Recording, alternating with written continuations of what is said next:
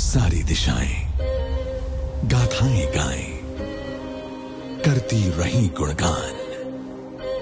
जन्म से जो था, माँ का रक्षक, ये वो पुत्र महान। देखिए, एक अनदेखी गाथा धर्म योद्धा गरुड़, जल्द ही